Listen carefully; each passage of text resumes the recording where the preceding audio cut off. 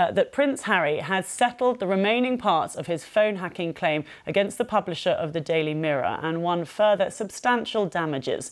The Duke of Sussex had claimed journalists at the Mirror Group newspaper's publications were linked to methods including phone hacking, uh, so called blagging, that's uh, gaining information by deception, and uh, use of private investigators for unlawful activities. In December, a judge ruled that phone hacking became widespread at MGN titles in the late 90s. Outside court, his lawyer, David Sherborne, delivered a statement on his behalf.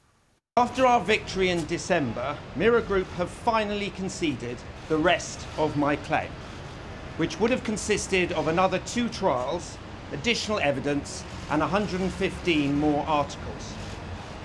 Everything we said was happening at Mirror Group was in fact happening, and indeed far worse, as the court ruled in its extremely damaging judgment. As the judge has said only this morning, we have uncovered and proved the shockingly dishonest way in which the Mirror acted for so many years and then sought to conceal the truth. In light of this, we call again for the authorities to uphold the rule of law and to prove that no one is above it. That includes Mr. Morgan, who, as editor, knew perfectly well what was going on as the judge held. Even his own employer realised it simply could not call him as a witness of truth at the trial. His contempt for the court's ruling and his continued attacks ever since demonstrate why it was so important to obtain a clear and detailed judgment. As I said back in December, our mission continues. I believe in the positive change it will bring for all of us. Well, our correspondent Charlie Rose is outside the City Courthouse in London, gave us this update.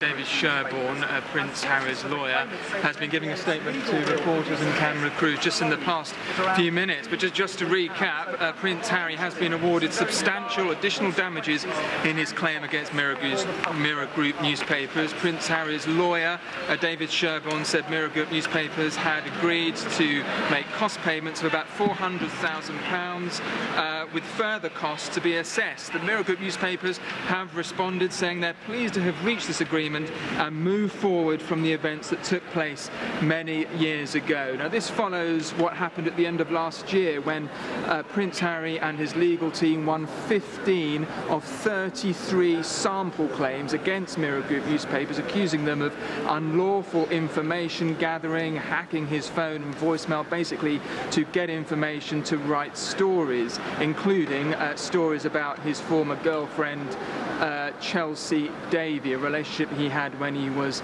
uh, much younger. Prince Harry said that was just the beginning. There are many more claims he wants to bring against Mirror Group newspapers, numbering some 115 claims.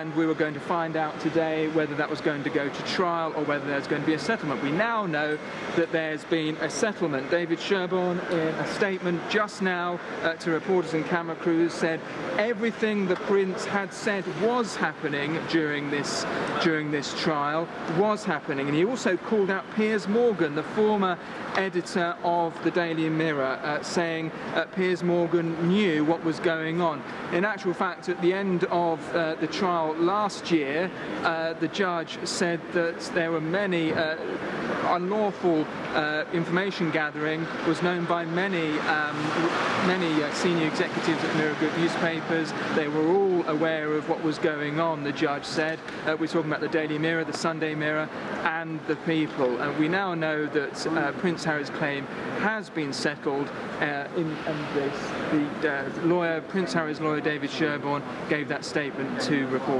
just now. And Charlie, we know that this is a test case. So what are the implications here for other people?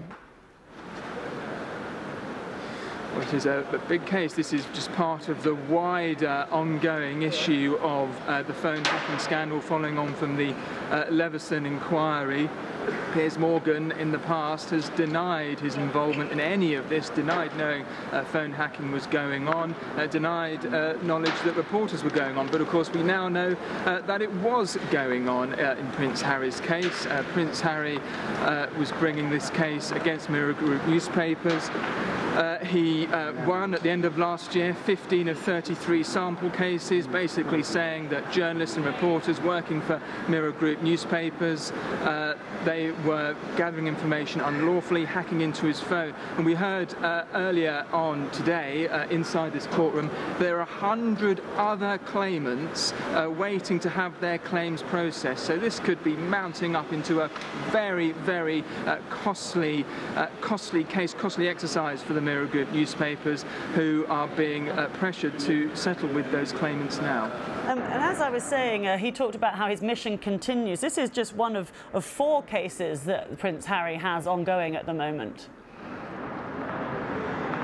Yes, not every uh, claimant. The number of celebrities involved in this in this case, but not every claimant has been successful. There were two uh, two actresses, uh, Nikki Sanderson, and an actress and the ex-wife of Paul Whitehouse, Fiona Wightman. Their claims to have uh, their their uh, payments uh, made basically by for for Mirror Group newspapers to pay their settlements. that was thrown out. The Mirror Group newspapers wouldn't uh, have to pay uh, their costs basically uh, because they failed to settle with Mirror Group newspapers. So there are other people involved in all of this, but it's that figure the judge said of 100 uh, other claimants waiting to have their claims processed and the Mirror Group newspapers now have that to deal with, a huge financial burden and financial costs uh, facing them and there'll be pressure for them to settle with those claimants as well.